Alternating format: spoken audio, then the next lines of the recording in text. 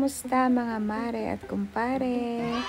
Nakapunta na ba kayo dito sa PS Bubu? Or nakanood ba kayo ng Your Garden? Or mahilig ba kayo sa F4? Well, well, well, kung ang sagot mo ay mahilig ka sa F4, so punta ka na dito agad-agad na, now na, sa PS Bubu, only here at Shilin District, Taipei City.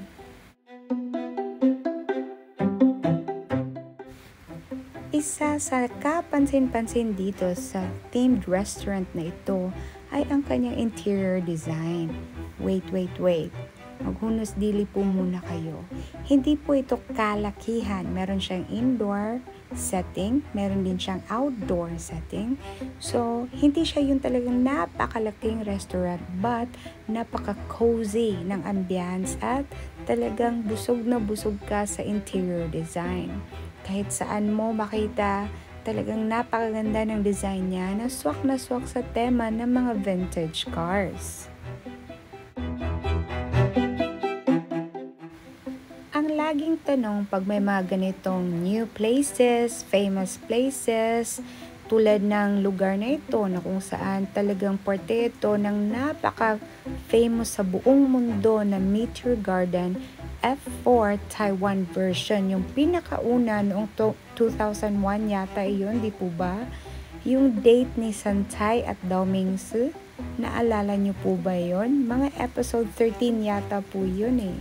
So, etong pagre-reserve sa mga ganito mga lugar, mas mainam talaga na tumawag kasi lalo na ng vintage car na pink na ito, nag-iisa lang siya.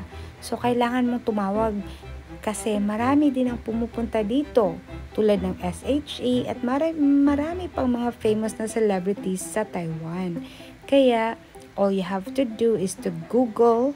Meron kayong Google Map, di po ba? So, itype nyo lang sa Google Map app ninyo ang PS Bubu at lalabas na po agad ang information ng restaurant.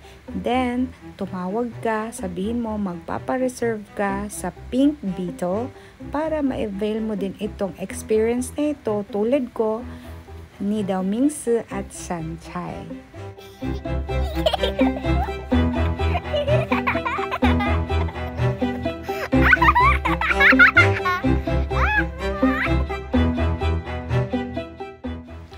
Alam nyo mga mare at pare, ang tanong nyo kung affordable ba dito, of course, this is really affordable. Imagine mo, the amount of 300 NT, mga ganun lang na amount 300 to 1,000 NT, masaya ka nang kumain, masarap pa, at syempre busog na busog ang mata mo sa kanilang interior design.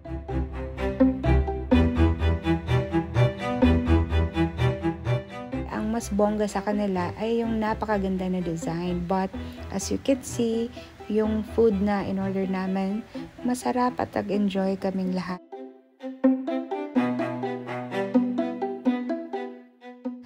Alam niyo naman siguro ang typical Taiwan restaurant na talagang napakaganda ng presentation. So, para talagang alam mo kung masarap o hindi, come and visit PS Bubu Restaurant. And by the way, this is a pet restaurant so you can bring your pets with you. Enjoy and have fun with this PS Bubu.